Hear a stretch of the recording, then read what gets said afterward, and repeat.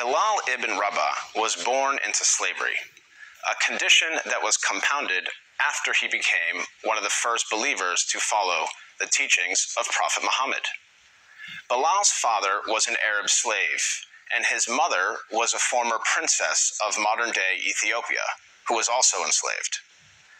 Bilal was ruled by a master who punished him for his conversion to Islam. He dragged Bilal around Mecca, encouraging people to mock him.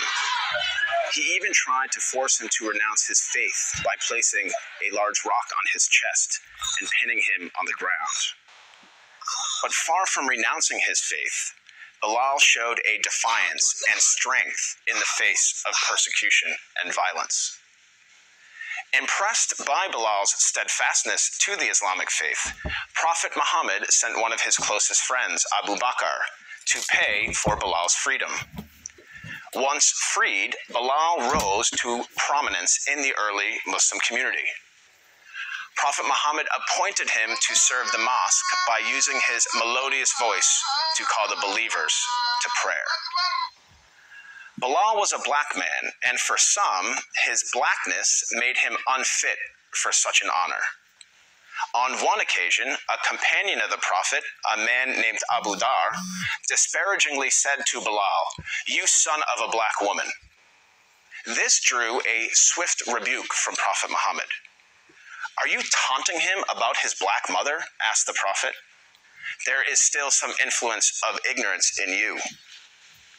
The ignorance the prophet identified was rooted in the misguided view that a person's race reflects his or her moral character or social status.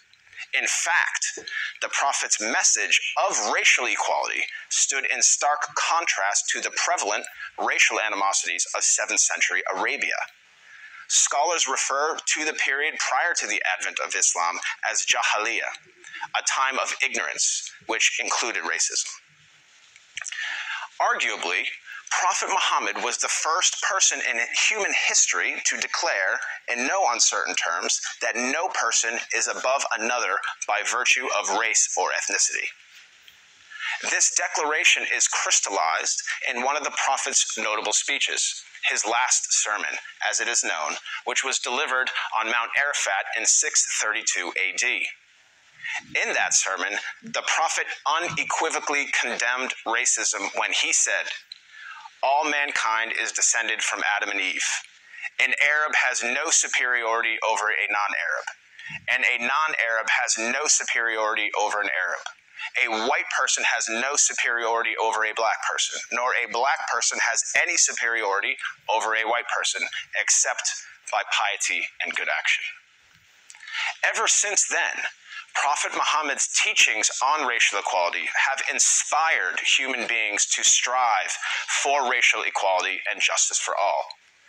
Consider the life of Al Hajj Malik al Shabazz, more commonly known as Malcolm X, the black Muslim civil rights leader who battled racism in the 1950s and 1960s. After performing the Hajj, or Islamic pilgrimage, to the city of Mecca, Malcolm wrote his famous letter from Mecca in which he said, There were tens of thousands of pilgrims from all over the world. They were of all colors, from blue eyed blondes to black skinned Africans. But we were all participating in the same ritual, displaying a spirit of unity and brotherhood that my experiences in America had led me to believe never could exist between the white and the non white. He added that he had never before seen sincere and true brotherhood practiced by all colors together, irrespective of their color.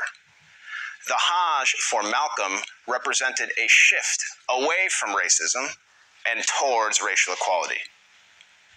The teachings of Prophet Muhammad encouraged all people to strive towards anti racism, which is quite different than simply non racism. While non racists do not openly express prejudiced views, they also do not work to dismantle racism in any given society. The Prophet of Islam actively challenged and dismantled the covert, the overt, and the systematic racism around him.